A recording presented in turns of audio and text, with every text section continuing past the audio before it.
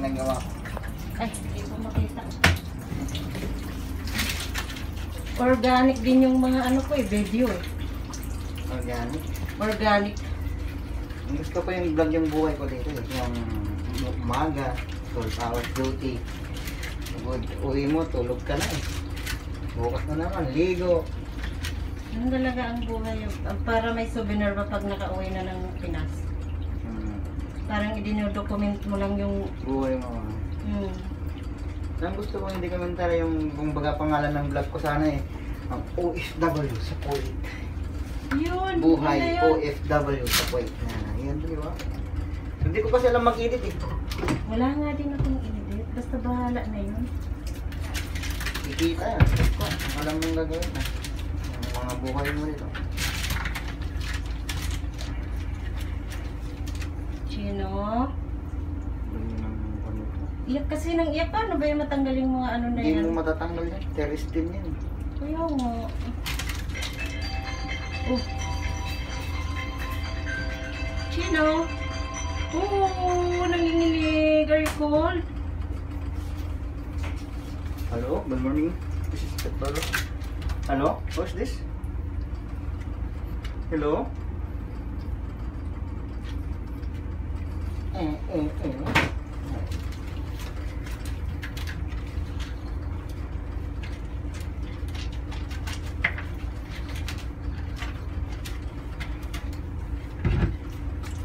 Ano ba ang secret nyo? Kasi pag hinuhugasan namin siya, eh, nag-ano yung, yung, ano, balahibo ba?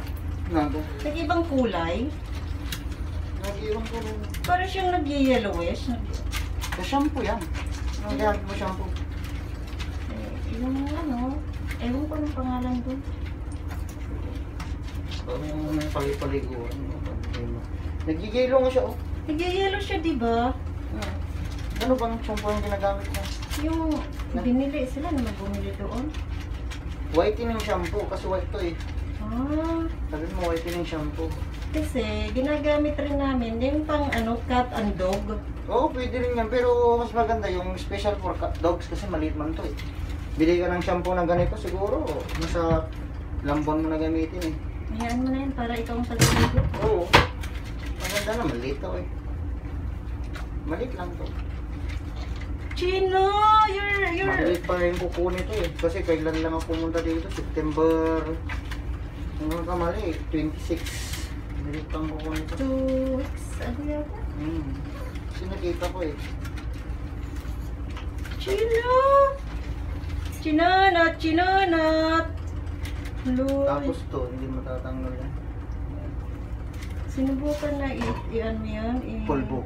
Lagay. Meron kami doon na dry. Pulbo. Mm-mm. Lalagyan natin. Ito pangalawang sabon na.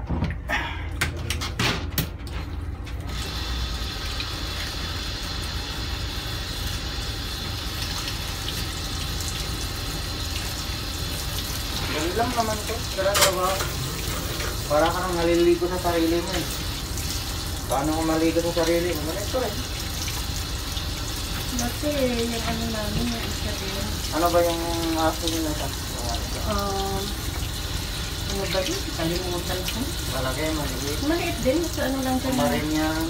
Mas malaki lang dyan ng kaunti. Kanto, tikap to eh. Malto. Maltese. Ay, malte pa.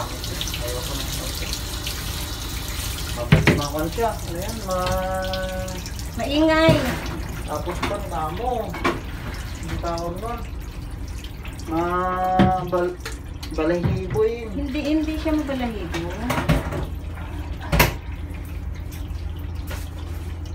Chinanat! Lolo, you're shaking, Chino! Hello, lo, lo, lo. Hello, Chino! Poor Chino! Nilalamig, oh.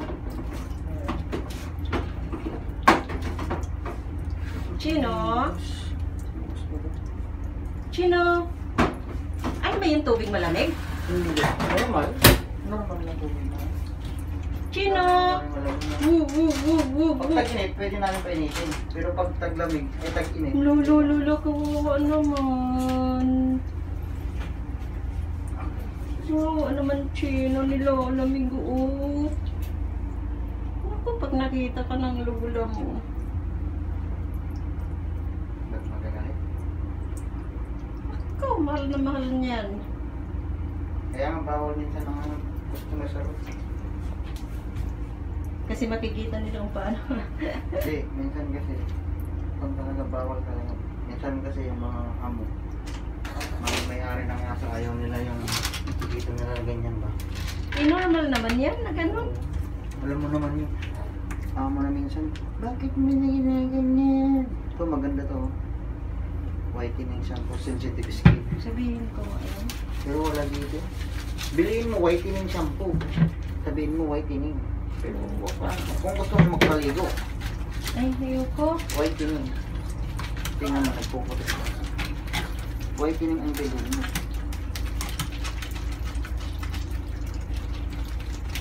Whitening shampoo. Pero magpapalit pa to ng balahibo. Ayun pa pala ka yan. Kasi ino- ilang Hindi lang puti. siya eh. Hindi pa puti, masya, hindi puting puro to. May ganito na, oh. hindi pa siya puti na puro. May brown to. Bata pa siya eh. Bata siya.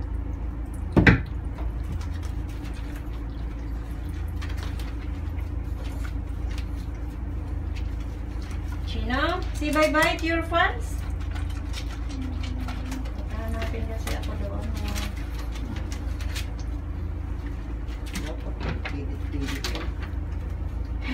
Yung mga nakikita ko nga sa Facebook. Ooh, you're brushing your teeth. Okay. Chino, show me your teeth. Yan, may pangil. Hmm. Oh.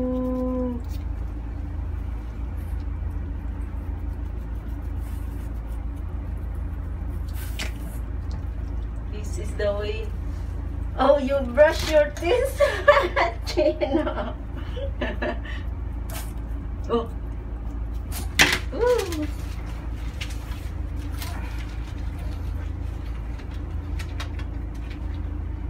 Ito ang pabili mo sa amin. Queen. Brightening eyes para dito. Mm. Hindi hindi kami nagpro-promo ha. Pero kung sakali man, mas maganda rin yan.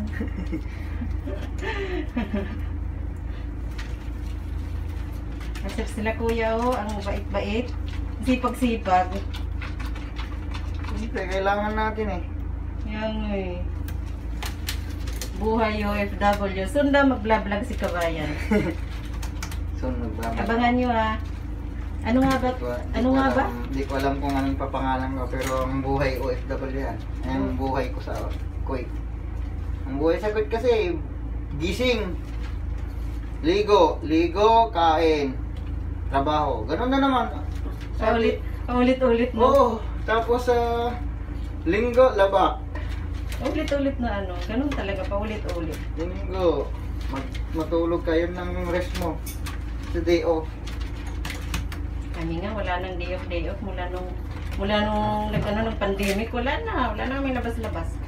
Maganda rin, pero safety kayo. Mahirap kasi sa, labas kayo. Sa labas, mahirap rin. Marami pa rin bayad. Mas maganda na yung stay at home. Yung mga kung pwede lang sana stay at home, may sahod. Buti sa inyo, sahod kayo eh. Stay at home na lang kami. Oo. Amin, kung walang trabaho, walang sahod. Hindi kami papasok. Kaya, kaya na kayo na lang magliligo dyan lagi para lagi kayo may trabaho. Oo. Mali. So, paano? Papasok na muna ako. Saka na tayo. Chino! Chika, chika. Chino, say bye-bye. Chino! Oh, puti na siya, oh. Chino! Oh, wow. Alisin natin mga yan. Kuskusin natin. Ah, Chino. Sige, kabayan. Mag-iingat kayo. Sige, sige, sige. Ito yung ano nila. Paano na? Ala, wala talaga ito sa bundok ba? Ah. Bye-bye.